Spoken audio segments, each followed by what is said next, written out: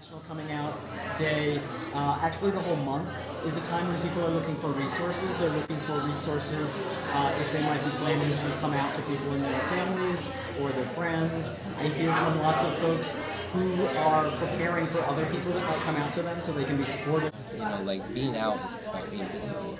So when you you can be out and you can be yourself and you can feel comfortable with yourself.